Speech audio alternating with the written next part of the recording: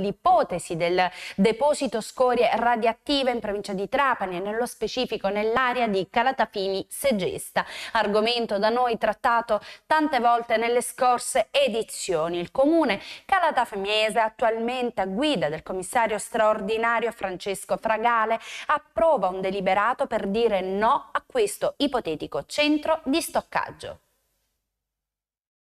L'oggetto sono sempre le aree dove allocare l'ipotetico deposito nazionale per lo smaltimento dei rifiuti radioattivi, argomento ampiamente da noi trattato alcune settimane addietro e che dei quattro siti siciliani individuati dalla società Sogin come eventualmente idonei, vede due di essi ricadenti in provincia di Trapani, territorialmente in Calatafimi Segesta e Fulgatore. La regione siciliana, ad onor di cronaca, ha istituito in tal senso un gruppo di lavoro presieduto dall'assessore all'ambiente Toto Cordaro e coordinato da Aurelio Angelini, gruppo comprendente un CTS, Comitato Tecnico Scientifico, coinvolgente le quattro università dell'isola e i comuni interessati, che come risultanza produrrà un elaborato di motivazioni a sostegno della ferma contrarietà regionale alle proposte della Carta Nazionale, la cui scelta è stata giudicata dall'esecutivo musulmano Megi irragionevole e priva di fondamento. Governatore che, come anticipato, intraprenderà iniziative in tutte le sedi istituzionali deputate. In proposito riceviamo e pubblichiamo un deliberato del commissario straordinario per il comune di Calatafimi Segesta Francesco Fragale, adottato per dire no al deposito dei rifiuti radioattivi nel territorio calatafimese. Un'area quella, si legge, dalle forti criticità come riportato nelle relazioni tecniche dell'assessorato regionale territorio ambiente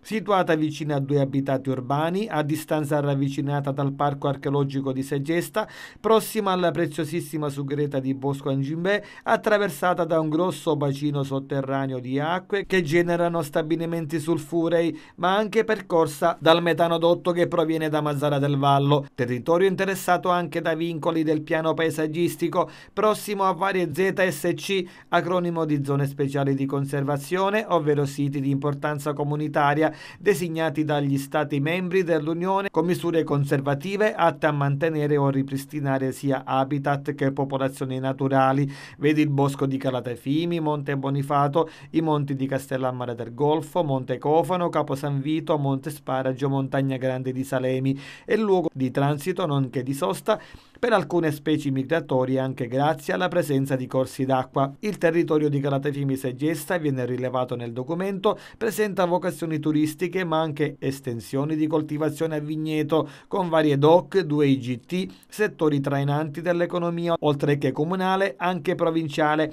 incompatibili con la proposta SIGEA territori con arterie viarie interne inadeguate come quasi tutte le aree al centro dell'isola, inadeguate all'eventuale trasporto dei materiali radioattivi, così come alla messa in sicurezza delle persone nel caso di potenziali situazioni di emergenza. Un atto del commissario Fragale che fa riferimento anche alla Convenzione di Aros, ovvero al trattato internazionale che garantisce all'opinione pubblica e ai cittadini il diritto alla trasparenza e partecipazione in materia di processi decisionali regionali di governo locale, nazionale e transfrontaliero concernenti l'ambiente. Un deposito nazionale di rifiuti radioattivi si legge ancora che va progettato prevedendo sin dall'individuazione del sito un'adeguata valutazione dell'impatto sulla salute della popolazione che delle aree circostanti. Una provincia di Trapani poi dalla naturale vocazione turistica, storico-culturale, dalle svariate bellezze ed eccellenze, un territorio con 50.000 ettari di superficie abitata ai primi posti in Europa,